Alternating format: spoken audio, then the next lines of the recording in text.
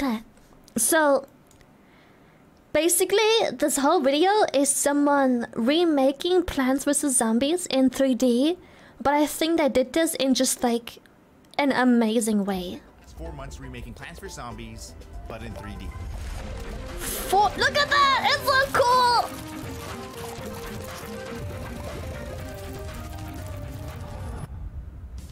Vs Zombies 1's a masterpiece. That's so which is why I'm cool. gonna reimagine the game in 3D using the world's most advanced game engine, Unreal Engine 5. Plus, I'm gonna make it downloadable for you guys to play.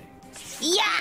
I'm gonna base this remake off of stage one. It's which means I'm gonna make downloadable. Stage one plants, these zombies, the environment, and honestly a million other things. But by far the most important thing is figuring out what. It's 3D so art style to use. impressive. Luckily, I recently remade the original Metroid in this voxel art style. Recently. So why not use it again? Let's start by modeling the stage one plants. bum, ah, bum, be, bum. right? I just gotta place a little block here, another little guy there, and oh look, I already made a piece of grass. This is gonna be a piece of cake. Huh. Well, that took a while. Or at least the models are looking good. That took a hot 10 days of work, second. you'd expect the plants to have faces, but I tried and honestly they look kind of goofy. So I took this opportunity to add the faces in Blender where I can make finer changes. Now look at this guy. He's so done. cute I still need to make now. shoot and whatnot, but before I do that, let's make a regular zombie. I just made eight plants in no time, so how hard could it be to make a single zombie? Oh my god, what have I done? You know what? Sometimes it's better to just delete things and start over. You looked you wonder why the arms and head are disattached, it's because, just like in the original, I want the arms and head to pop off when they take damage. Also, I noticed that the zombies have multiple walk animations. So to keep that variety, I made a few different walk animations, plus an each So much work! And the reason why the zombies are facing to the side is so that they look better from this view, which is the gameplay view. I also went ahead and coded the zombie dismemberment tech, and to test it out, I quickly programmed the pea shooter to shoot, and now, Uh-huh. hopefully, it works? Flawless. Huh.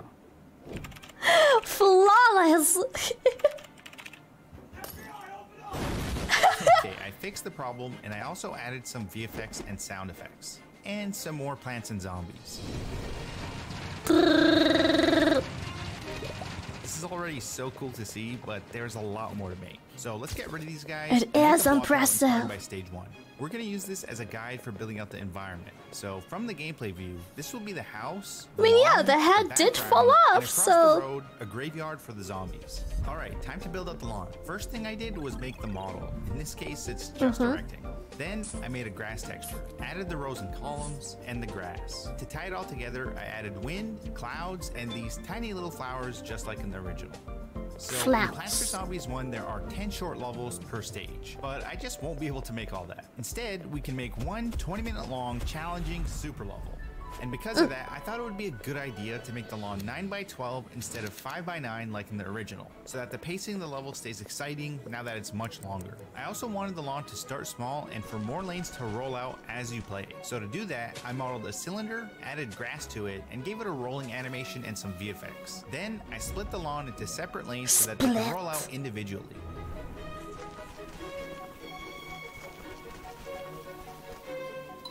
It's so cute! Then I finished the area around the lawn by adding the fence, the sidewalk, and painting in some more grass. Now that the lawn is done, I really want to finish coating the plants. Right now, they just sit there while the zombies get a free meal. Chomp First is the sunflower.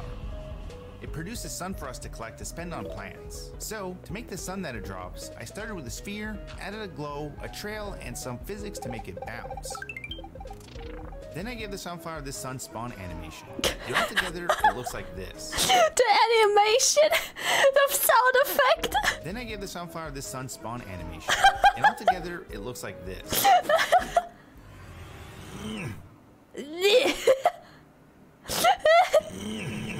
Also, because of the larger lawn, you end up with a lot more sunflowers and way too much sun to click on one by one like in the original. So I did our fingers a favor and made sun auto-collect near the cursor.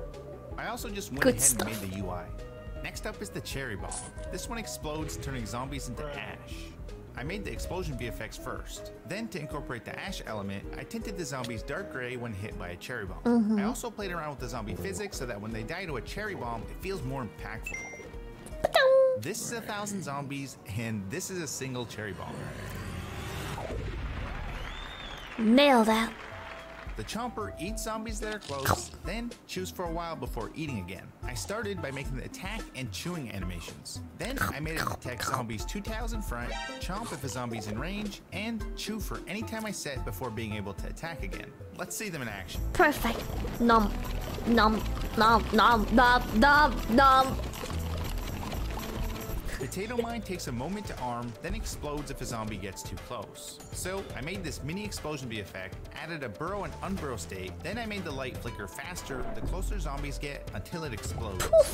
The Wall-nut defends plants and changes visually based on the damage it takes. For this adorable little guy, all I had to do was model two other states and give them more. It's so Anyways, sad. front lines go. Finally, we have the pea shooters. Programmatically, they all shoot using the same method. They cast a line trace, and if that detects a zombie, they start firing. The Snipe. differences are the repeater shoots two peas at a time, and the snow pea slows zombies, tints them blue, and plays an ice crackling sound effect when they get hit for the first time. I also made the shovel mechanic, which lets you dig up plants.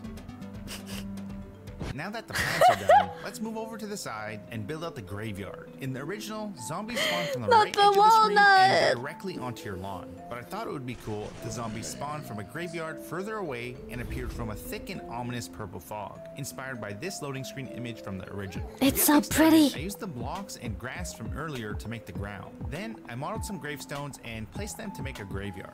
For the ominous fog, I made this massive VFX and placed that on the right. It looks so also good. Added a purple tint to the ground, textured the road, and added vents that glow green just like in the reference. Now when you're playing, you can look over to the right and actually see the zombies coming from the graveyard.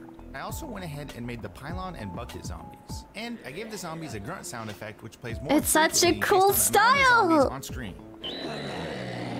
Also, since it would be way too easy if the plants could shoot the zombies all the way in the graveyard, I limited the pea shooter's max range to the sidewalk. Next up is the house. I couldn't resist making it possible to plant on the roof like in stage 5. The problem was, in 3D, only sunflowers would make sense on the roof. Pea mm-hmm. shooters can only shoot what's directly in front of them, and why would you plant any of these? So I decided to make the single pea shooter stand out from the other pea shooters and give it the ability to aim. Bum, bum, bum. I admit feels a little bit illegal, but it's fun to see all the pea shooters follow the cursor. Look at that, that's so cute. Oh, and the house model is still just a gray box, so I fixed that, and I made a bunch of props and placed them around the map. Now you can plant single pea shooters on the roof, and they actually work. They can even peek over the edge of the house. Peek. Now on to the super level. Up to now, I've just been spawning zombies at random so that I could test stuff. But in the original, levels start off easy and slowly ramp up in difficulty. Mm. Plus, there are red flag waves that spawn even more zombies. So in short, I coded my own version of that system and made the level progress UI. And no, that's not a UI bug. I just added a ton of waves. Now the level starts off with A three ton, a lanes ton. and less zombies, and eventually reaches a state of total chaos. Bum, bum, bum. It's winnable, by the way, I promise. I also wanted to add a day-night cycle into the level inspired by the nighttime stages. And that requires a background which we currently don't have. So I made a sky backdrop, some cloud VFX, fog cards, a sun, and a moon. Then I placed those in the background along with some houses on the sides, and now we have this.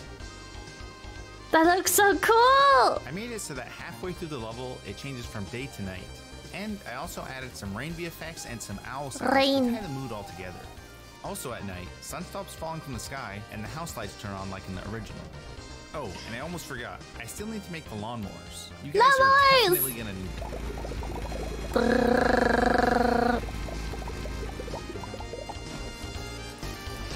It's so good.